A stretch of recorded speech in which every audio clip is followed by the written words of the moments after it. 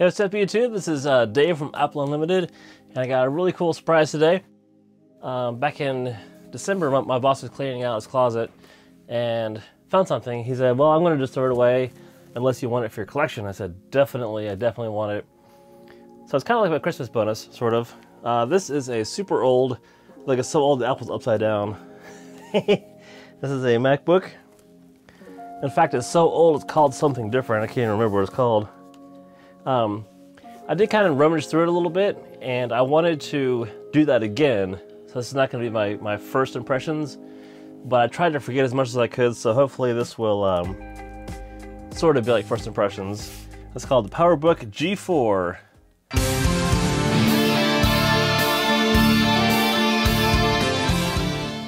And let's see how long it takes to power up. This thing is old.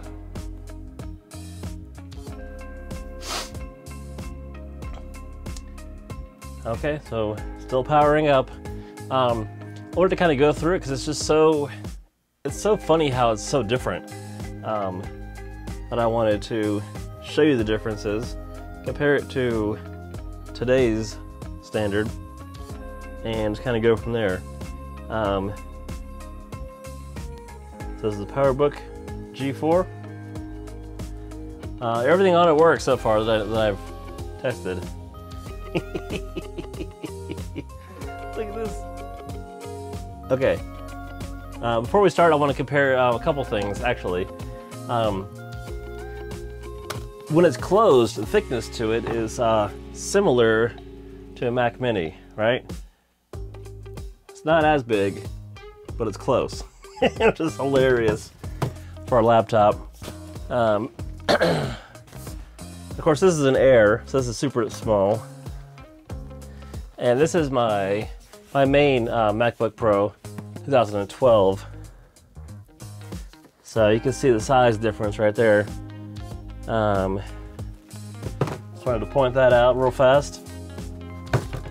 This video is going to be kind of just all over the place tonight. Okay. And in fact, you can't even just open it, you have to push the button to open it. Which I'm glad that's changed. glad that's changed for sure. First things first, I'm going to go ahead and increase the brightness if I can. This thing is dark looking.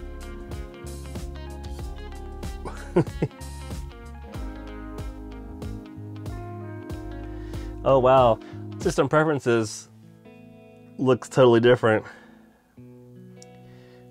And you can't even click on the mouse pad, you have to click the button below it too. Which is going to be hard to get used to doing that.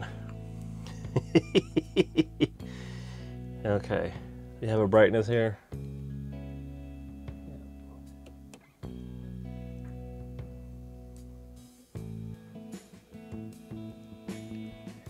Oh, it is all the way up.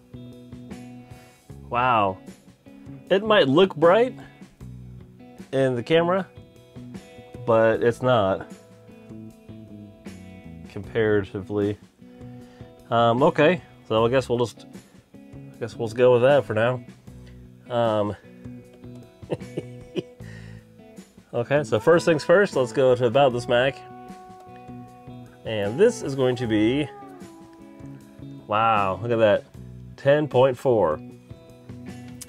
Um, I don't even know what that is, 10.4. Let me look that up real quick. 10.4 is Tiger. So when I started, I started on Mountain Lion and went from there, of course, to Mavericks, Yosemite, El Capitan, Sierra, High Sierra. And my main machine's about to hit Mojave. Uh, waiting on one more update first before I do that. Um, but let's compare the rest of the specs. So right now the processor is uh, 1.5 gigahertz. And this is my most current Mac is my iMac. And that is um, 4 gigahertz the Intel Core i7 while we're at it the RAM is 32 gigs 1867 millihertz DDR3 and this memory half a gig DDR SD RAM. Half a gig of RAM. That is ridiculous. Um, that's really bad. Um, well, it does have it does have the time on it. That's good. That's a good thing. Oh, I was wrong. The hard drive is 75 gigs. So there you have it. 75 gigs. Um, God, this thing is so not bright. It's it's crazy. It's driving me crazy. So I actually went to uh, the Atlanta Institute of Music twice, once for guitar, once for recording. And both times I went, my favorite teacher, uh, Randy, he was there both times. Uh, and then after I left, he left. Um, he also worked where I work, but before me. And what's real funny is um, on this computer, I found some of his old songs and stuff in there. so he used this, and now it's mine, and he has no idea about it, which is which is funny. Um, just wanted to mention that. Um, let's try getting on the internet, because I know it won't. I know it's that old, it won't even get on the internet. But let's try it just for fun, shall we? Safari looks somewhat similar. Let's go ahead and see if that launches. To bring us to the Wi-Fi page, right?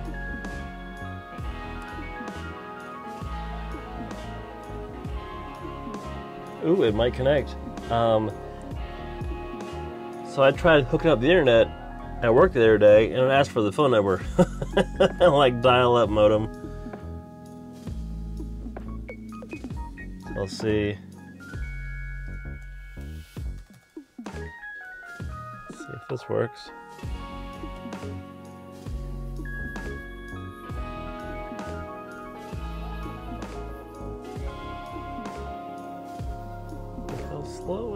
This is probably like state of the art back then. Live page dot apple. this is so ancient. And it makes you wonder about people getting rid of their old computers. I'm sure some of them break. I'm sure some of them um, just get outdated and people just buy new ones. And then there are people that don't update ever and are still on ones like this. It's just hard to imagine because things change so fast. And look how long it took to load.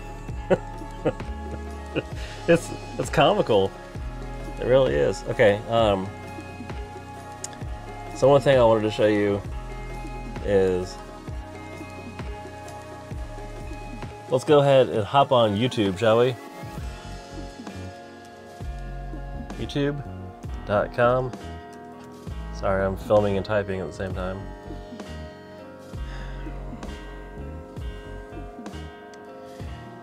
Oops, your browser is no longer supported. This thing is so old it won't even get on YouTube at all.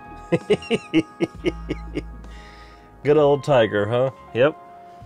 Good old Tiger. I would love to find a way to to get Mojave on this thing just to see what would happen. There's got to be a way somehow. I don't know. I just thought it'd be funny to uh, to review this super ancient computer. Here's the keyboard. Some of it looks a little different.